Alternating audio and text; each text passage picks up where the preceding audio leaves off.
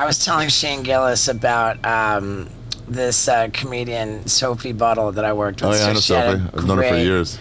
Great school shooting joke. She just said like it's just not worth it to be a bully anymore. Yeah, that's PG. It's like yeah, like uh, The best one I heard was was uh, with all the with all the guns. Like Yeah. it's just it doesn't. Adrienne Iapalucci has one on her special on her uh, album Baby Skeletons. It was like when uh, Parkland happened, and it was happening on Ash Wednesday. And she goes, it was even worse because like all those kids had targets on their heads. Oh, God. Dude, she told that the night after it happened, and everyone was like, and then this eruption of laughter went off, and I'm like, you gotta take some chances. Yeah, I, I personally don't What? like offending people. I don't want to offend people. I want people who are cool to be like, oh, ho, ho, ho, ho." Right. But like, you got to get on that line, which means some dorks are gonna be over the line. Dude, I'll, I'll, t- I'll tell you this this uh, gnarly joke. Yeah. It- it like Gino Bisconti Yeah, gave yeah, it to yeah. me. Okay. You know? Yeah. So you know it's fucking gnarly. like I, I was getting ready to do the Charlie Sheen roast. Um, Oh yeah, I forgot how you were on that. Yeah. Didn't Mike Tyson punch you? I I ran into Mike Tyson's fist.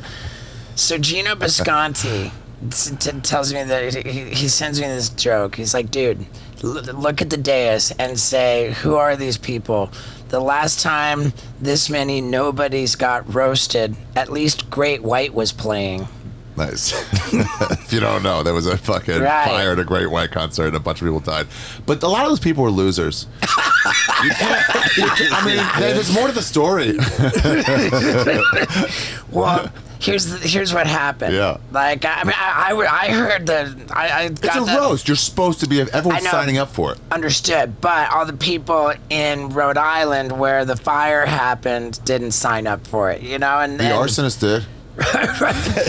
like, but I mean, yeah, I Oh, was so they got pit. okay. So, so I tell Jeffrey Ross, I'm like, I'm like, man, tell him the joke, and and Jeffrey goes, I oh my god, guarantee you, he loved it. he says, oh my god, you have to use that joke on the roast. Oh my god, you have to. I'm like, dude, I would never say anything this offensive, and he's like, oh my god, you have to. So we go around like the LA clubs, like practicing like uh, our our roast sets. Yeah. And every I, I'm like I'm like whatever. I'm at the the comedy store. Like I'll just throw it out there, and it was like the biggest laugh Yeah. out of the whole deal. And I started to think to myself, oh my god, like that joke is kind of killing. Like maybe, like uh, yeah, maybe I'll use it. So, on at the you know they tape the roast like a couple days before, or where do they tape it and then it takes them like a week or so to, to put it out. Yeah. What you know. They uh, edited out all the bombs. yeah, yeah. So, uh, I, so I, I said it at the taping.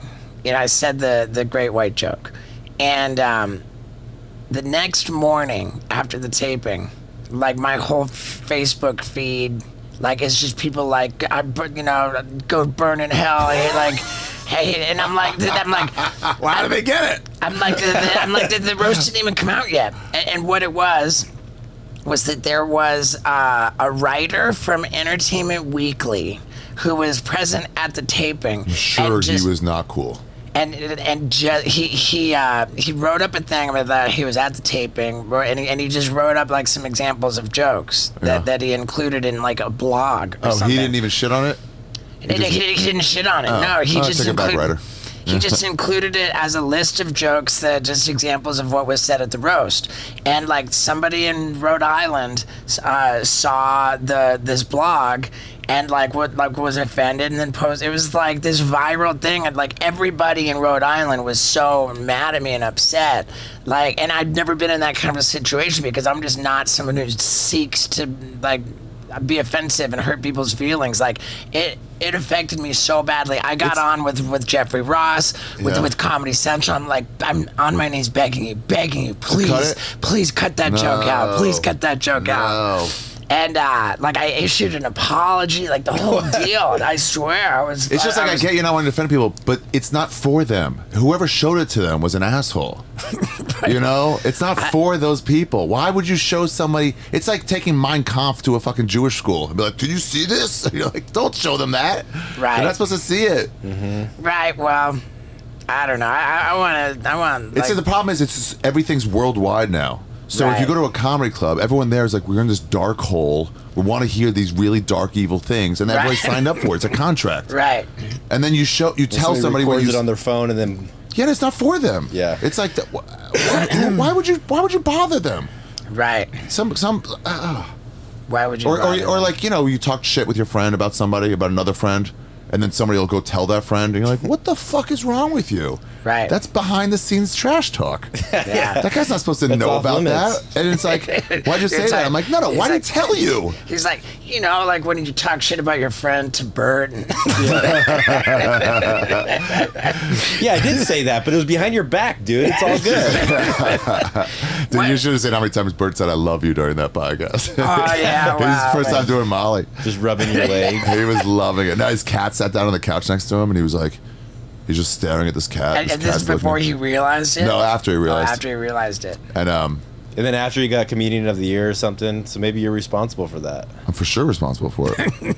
I upped his game. I helped him see clearly. Right. And he said his cat's looking at him. He's look, he's like, dude, my cat sees me. And I was like, yeah, I know. He goes, you don't know. My cat sees me. I'm like, yeah, you're feeling it, bro. and you guys never aired that. He never aired it. I gave him a Catch 22. I gave him the best podcast of 2019. And he, on the podcast, he was like, I am pissed, but also I get that you know I love good content. So you gave me an amazing podcast. Joey Diaz came over telling the story, watching the sunset behind him. We're both like, it was awesome. The- The question is, if you put that podcast behind a paywall, would it do better than We would make $74 million. for sure? yeah. It would do better than my special Ari Shaffir Jew, available now for free. Uh, would do it, it, it would do better than anything. I, I say, Bert, release the pot. It's been long enough. Yeah. Yeah.